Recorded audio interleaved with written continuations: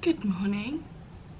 I'm in Oxford today. I am here for my Oxford Masters graduation ceremony and I thought, what have we not done in a while? We've not done a uni vlog. No, I'm obviously not here to study, but thought we could just make this a little catch up and the final Oxford uni vlog, the last one ever, where it all began.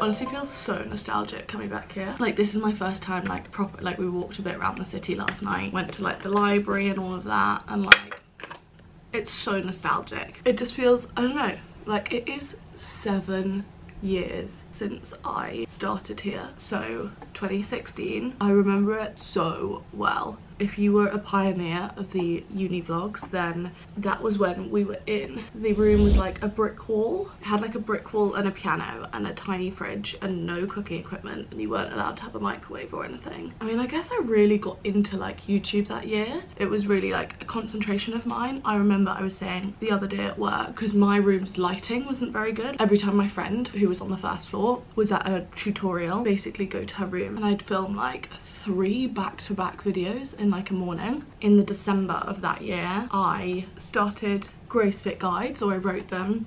Do you remember after I received like an email from like the bursar who was like, we haven't received your student loan, which was meant to be going straight from student finance. So absolutely freaked out. Wrote the Grace Fit guides, set them all up on a website and then launched the first challenge that January. Is everything live? Is everything live? Ah, oh, we're live!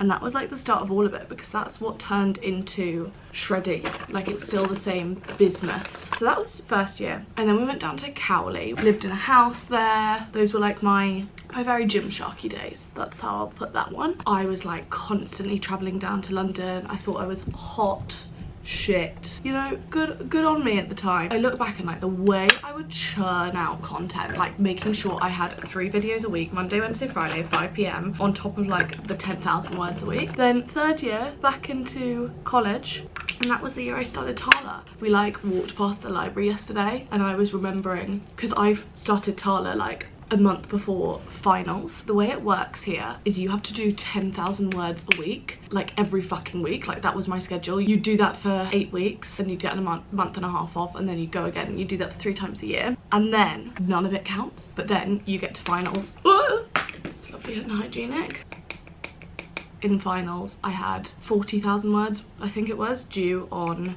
one day and then 10 days of like back-to-back -back exams. So I started Tala in May of my last year and my finals were in June. Why I did that I have no fucking clue. Actually I do. It was meant to launch way earlier. Like I at this point just had a PA like I had a part-time PA she was a student at like a nearby university. We're still really good friends now. I remember so clearly I'd been hiring for like a creative assistant role and I had like a short list and I was going through them. I basically just decided that I needed to hire two of them. I was like oh my god this is all about to go tits up. And this was like a few weeks before my finals and so I was like well I can't go down to London to like onboard them and introduce them to the brand. So all of them came up to Oxford for a week and I rented an Airbnb like five minutes from my college and they were staying there all the time and I was at uni obviously like ramping up for my finals but also hilarious to look back on and thinking of them literally like in Oxford and me like going back in the middle of the day and being like how's this getting on? And then working on things and then leaving to the tutorials again. Anyway with the library I remember having just launched Tala and like don't get me wrong the launch went well but I don't know if anyone remembers this. The website glitched pretty severely and it basically meant that we sold loads of stock that we didn't have. And so we were like watching the sales go up and we were like wow this is like amazing. Like this is truly incredible. Until it got to a point where we thought how much stock did you say we had again? And basically the maths was not mathsing and the maths was not mathsing because we'd sold stock that we didn't have. The website just hadn't stopped. Like usually when stock gets down to zero it hadn't been able to process people clicking at the same time essentially sold loads of stock we didn't have and it was as I said like a month before my finals it was an absolute shit show I remember like revising for my finals and I could not stop crying. I was like, oh my god, I really, like, I tried to launch this brand and I fucked, like, I fucked it. Anyway, it was going fucking nuts. The team couldn't deal with it and everyone was on all of the customer service. My friends were on all of the customer service. So I remember posting in the university Facebook group basically saying to any like second years who don't have exams like to any second years have a few hours to spare I can't remember what it was we were like we'll pay you like 15 quid an hour that's such like a lot but I'm pretty sure that's what we said. I was very desperate. So I literally had people from the university, we'd like put a handbook together who were just replying to customer service emails. I'm not sure how I feel about that now, but it is a true story. Oh, well those would be two completely separate wings. Anyway, this Oxford Masters thing. First of all, I'm not really sure what the deal on it is on it, but basically, when you're at Oxford or Cambridge, seven years after matriculation, on account of good behaviour, I don't know what this good behaviour thing is, I think it's like if you don't get arrested. Oh, hello. Would you like to greet people? Hello people. Basically everyone everyone's degree gets upgraded from a BA honours to an MA, an Oxford MA, MA Oxon. I don't fucking know. Anyway, that's why I'm here for my graduation ceremony. So this is my second graduation. Looked it up on the internet because I was like, why does it get upgraded? And there appears to be two very uh, firm and fierce camps. One of them is like, it's because the intensity of the work there is like not standardized in terms of like when you get a BA, every university can basically set what's in that thing. So like the 10,000 words a week stuff, all of that. And they seem very firm in their arguments. And the other half of the internet just says that it's a very elite elitist thing that people at Oxford get an um, M MA after three years and everyone else gets a BA. And I see it, I, re I really do. So there we go. Anyway, we'll be getting it. We'll be updating my LinkedIn. That's why we're here. Not even sure how much I'll be able to show you. But I thought we could have a, a little natter and a catch up anyway. And I'm now running late.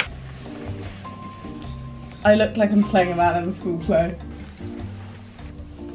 I am ready. I do look like. I do look like I have a starring role in Harry Potter and the Philosopher's Stone, but unfortunately you don't get a choice in what you wear. It's not a dress situation, so here we are. Um, also, I was explaining to him yesterday, I was like, you're not going to enjoy the ceremony. It's not like where people are like, Grace Beverley, MA, it's not like that. The whole thing is in Latin and you just process and then you get your thing and then you leave.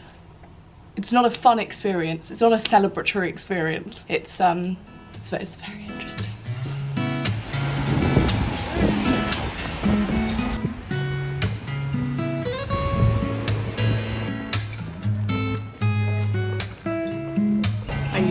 To love this place.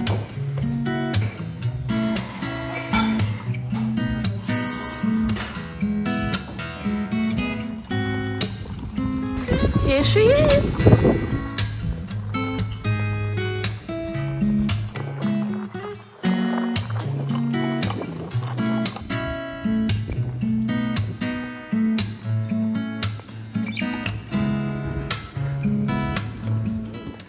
Totally depends who remembers this, but this, this room here, that is where I lived in first year. That's the brick wall room. They're clearly still asleep. And then there, that one is where I made the bed into a double bed.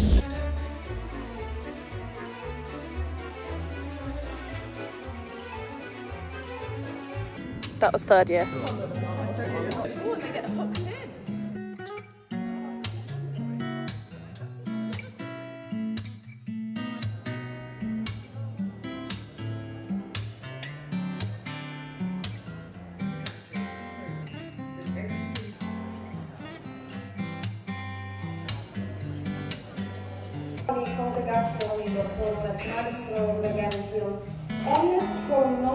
Nomina in scatulis vitae a registraria conscripta oh sunt.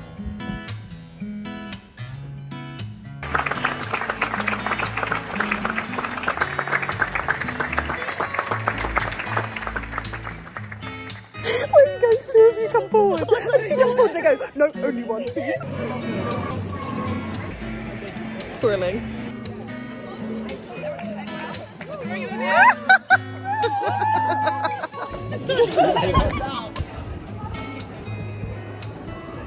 Hello. Hello. Just only got it done it, guys. With, you know, minimal work, to be honest. Here she is. The library I spent literally all my fucking time in.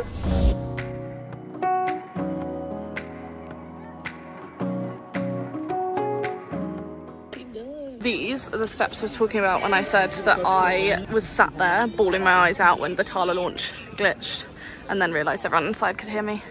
Just sitting in, oh my god, this eyeliner. No eyeliner works on me, but we are just sitting in a cafe having five minutes of silence before we go to the celebration lunch and drinks and everything. I'm exhausted. It's hard being such a high achiever, achiever? A high achiever with so little work. Now I have to carry the weight of my new title. How was your experience of the Latin ceremony? It was very Harry Potter vibes and I loved the bowing. Thank that was you. my favourite part and you were off rhythm of the bowing. I was off rhythm Yeah. with a music degree, no less. Yeah. A music MA. Music ma. Music ma. Do you think, wait, this is an important question. Do I think what? Do you think that if we had met while I was here, you would have liked me? Um, I would have been 32. That would have been inappropriate.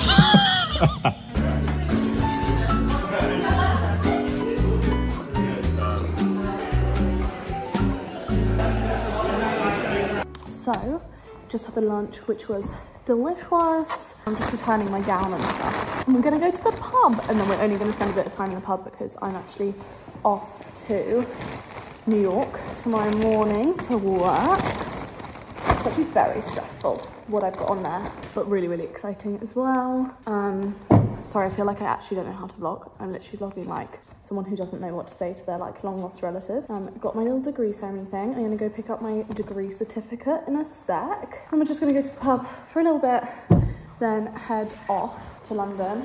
Hello, I'm talking to the vlog. just hit me. oh yeah, we need to return that. And Certainly. yeah, what have you got a degree in? Office quotes. The UK only. UK only. Yeah. Right, we're off to the pub. Here she is.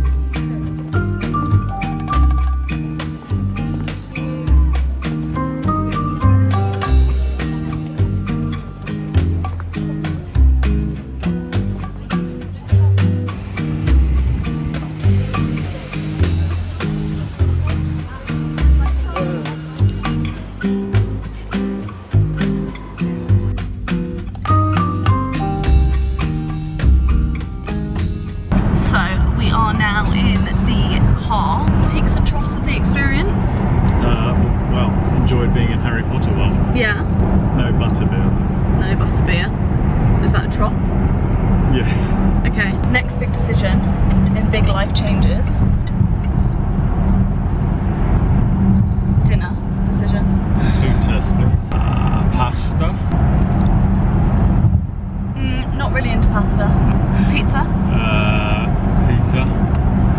Indian. Sushi. Burger.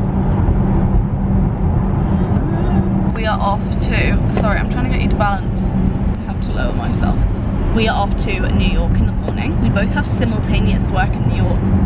Whoa. New York! Last time we were in New York, he lived there at the time. He got me a salad and brought it to my hotel when I was, I think I was like working that day. And he didn't leave my hotel room for days because he felt really ill. And then he started clucking. Um, yeah, clucking like that, breathing really, really heavily. And oh, and I just thought there's something not right because he was so ill. Like he just became really strange for like an hour at a time. It was early enough in the relationship that I was like, maybe I just didn't see the side of him before. I mean, it was early enough in the relationship for you to be like, I'm out. Yeah, I know, and I didn't. And that's why she got a big fat rock on her finger. Anyway, turned out he had sepsis. I'm joking about it now. It was a highly traumatic experience for you. Also, not ideal um, for me. Accidentally discharged you, that was fun. Yeah, I went to the theatre. They called him up and said, Hi, why were you discharged? Three of your organs are in serious trouble. So then we went back in. And then when we were then discharged, we had to take his temperature every 10 minutes.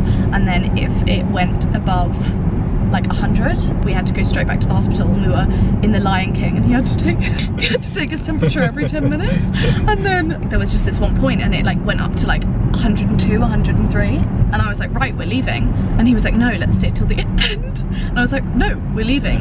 And he was like, money for this ticket. you had sepsis. that was our last time in New York, so we're hoping for a better time this time. If you need a car lesson recommendation, Paul Sinner's Doncaster, round of applause. BBC pub quiz makes this man very happy. Hello, boys. Oh, hello, boys. Hello, little ones. Yeah, that's what they do. They just nap and walk. The baby. Baby, the baby, baby. The, boys. Who doesn't like? This is Ziggy, who you've obviously already met. This is Lisa's introduction. yeah, it is. It's his YouTube debut. The baby baby. This is the baby baby. He's Zeus. He's very, very cute. He just lacks brain cells. No, I'm not mean. We just know he does. He does. But he is very cute and he's very happy. So, got back. Gonna be having a pizza for dinner. It is a Saturday night. It is gonna be wild. Gonna be cuddling. Who's making that noise? Jason. Gonna be cuddling. Ah! Boys. Let's go see. So yeah, literally just gonna have a nice chilled night in, then we're leaving to New York in the morning. But thanks for coming to Oxford with me for one last time. I mean, hopefully I'll go there again at some point, but not as like a university student, or wasn't a student, but like something to do with the university. It was honestly so nice to see everyone. It all felt so nostalgic and I miss that time in my life so much. Like, don't get me wrong, very happy now. But it was just, it was so pure and it was so simple, even though I was stressed out my fucking mind the whole time. So I guess the life lesson there is that you're always gonna be stressed out your fucking mind and then you're just gonna look back and be like, oh, I shouldn't have been. And then we just do that round and round in circles just until we die. It's a positive thought. But thanks so much for watching. Have a wonderful day. I have nothing more to add.